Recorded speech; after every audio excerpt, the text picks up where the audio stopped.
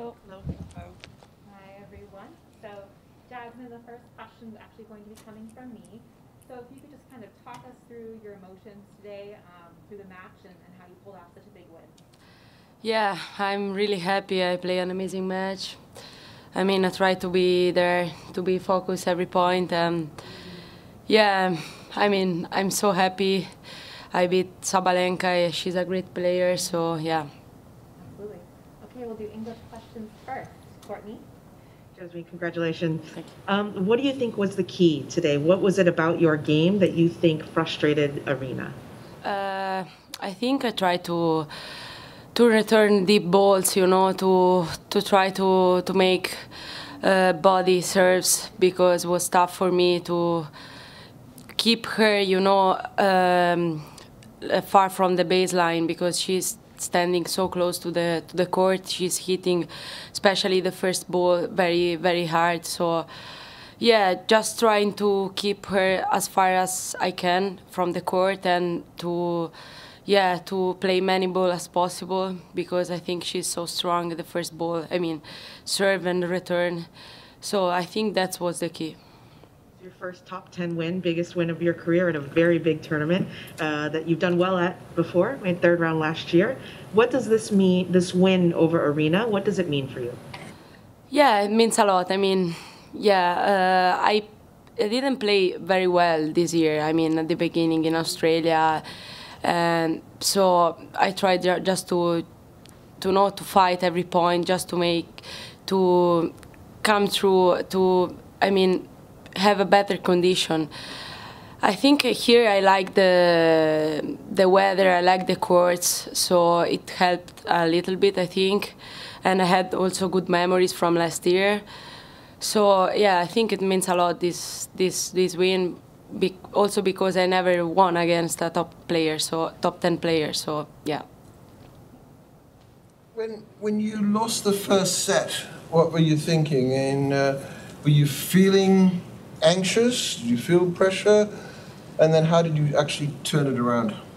Yeah, I mean, I didn't after the first set. I didn't expect to win the match, but I'm I tried just to be there every point, you know, to to be just right there every point. To don't think about the the score because I mean the score was six two for her, and I mean I wasn't even close to to, to her. But then, point by point, I started to believe it. You know, I started to hit hit better the ball deep in on the court. So yeah, yeah, I feel after this, I feel I feel well on the court. So. Um, how? I know you, you said you've never beaten a top ten player before, but when you went into the match, what was your emotions? What were your feelings like when you also maybe realized that Sabalenka can be so up and down, and her serve can be all over the place, and things like that? I think I stepped on the court to try to win the match because I, if you don't think this before the match, you are not gonna win for sure. So uh, yeah, she's uh, she's not a regular player. She's a player that can hit very strong, many winners. But it's not easy to play every point, you know, full power. So yeah, I try to to stay there to to play my game, you know. Uh, like Brooksby said one time, tennis is not just to play, uh, to hit strong the ball. It's also doing something different. I I think I just try to run to put the ball as deep as I can, and sometimes also make I made some winners. So yeah, I'm happy with my performance. Jasmine, you said you haven't played very well this year and until today, but your ranking is in the top 50 now, and you've made a lot of progress over the last couple seasons. I wonder if you could tell me why you think you've been able to make these strides. What have you improved in your game? I think I have more confidence on hard courts, and I work a lot with the. Um, I don't know how is the, the a guy who make video video analysis. Yeah and yeah that's i think was the key i mean i before uh, last year, I I didn't believe that I could play also on hard courts.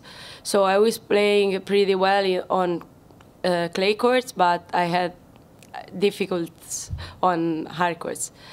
And now I think I believe that I can play also here. So I think that's the key because more tournaments are on hard courts instead. I mean, instead of clay courts. So I have more chances to do points, and that gave me confidence. I think during the year. Yeah. What specifically does it take for you to have success on the faster surface like a hard court? I think I improve a little bit the serve. I still have to improve it, I know. And also the forehand because I need time to hit the forehand well. So uh, yeah, I worked a lot on, on my forehand and on my serve.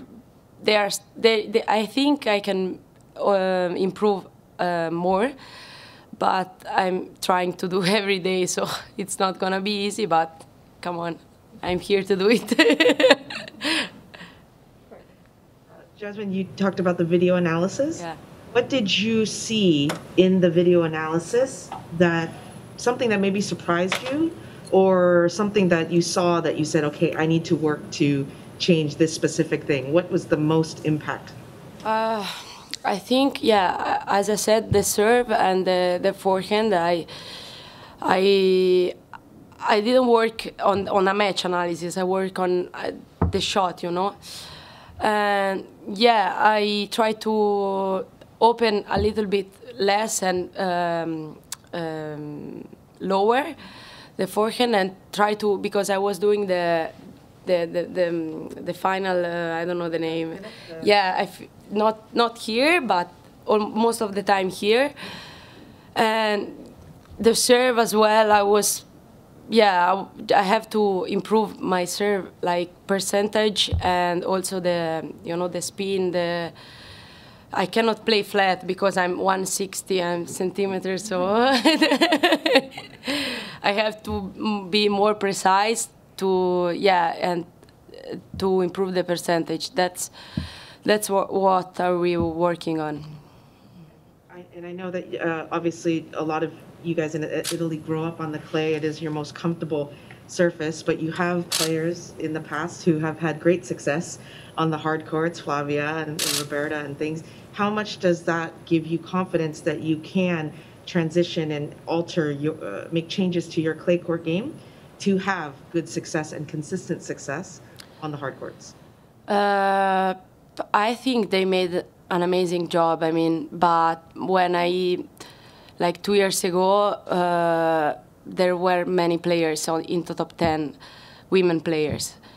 And because they, they stopped and we started, I mean, me, uh, Martina, Camila, okay, she was already there, Martina Trevisan, but they retired and then we came. So it wasn't easy because there, there, there weren't players from Italy there, you know, in the middle that that could show us what to do. So it wasn't that easy, but yeah, I think now, uh, I mean, I'm working on myself, so I don't know how much this helped me, but for sure they made an amazing job. All hard courts are different in terms of speed and the way they bounce. I just wonder, how do you feel about the hard courts here at Indian Wells? Is this a good hard court for you? I think so. I think so because it's not really fast. So uh, yeah, I have time to hit forehand and backhand, and but you know now I think I like the hard courts because yeah I can serve good. I mean better than on- clay. I can move well, but this court for me I, I think are especially especially good. Yeah. Any other English questions? One more. You, you might be the first person to sit in a press conference and quote Jenson Brooksby back to the reporters. So I'm curious, how do you, are you like a tennis nerd? Do you read a lot of quotes and, and are you, Uh, not really, but when I read this title, uh, yeah, it stayed in my mind, you know. And I remember also in another match that I thought this that tennis is not just hitting winners and strong the ball. And yeah, today during the, the match, I repeat this to me, yeah, because it's important. I think for me, it's important. I mean, to to keep it here in my mind.